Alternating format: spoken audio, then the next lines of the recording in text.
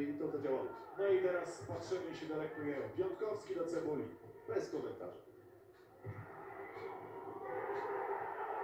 No oglądaliśmy naprawdę świetny mecz PKO Ekstraklasy, drodzy Państwo.